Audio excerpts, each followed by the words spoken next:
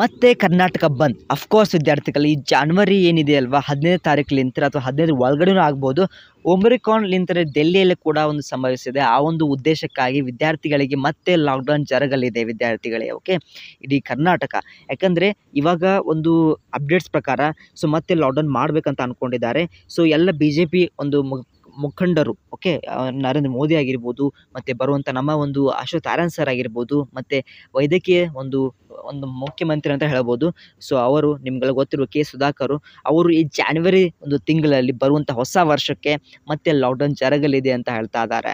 So ಹಂಗಾಗಿ ಯಾವ ಒಂದು ಡೇಟ್ಗೆ ಒಂದು ಲಾಕ್ಡೌನ್ ಜರಗಲಿದೆ ಅಂತ ನಿಮಗೆ ಖಂಡಿತವಾಗಿ ನಿಮ್ಗೆ ಗೊತ್ತಾಗುತ್ತೆ. So keep update so subscribe ಮಾಡ್ಕೊಳ್ಳಿ. ಪ್ರತಿಯೊಂದು ಅಪ್ಡೇಟ್ ನಿಮಗೆ ನೀಡ್ತಾ ಇರ್ತೇನೆ. ಯಾವಾಗಲಿಂದ ಬರುತ್ತೆ ಆಫಿಷಿಯಲಿ ನೋಟಿಸ್ ನೆಕ್ಸ್ಟ್ ಲಾಂಚ್ದಾಗ ನಿಮಗೆ ಆ ವಿಡಿಯೋ ಬಳಿ ಗೊತ್ತಾಗುತ್ತೆ.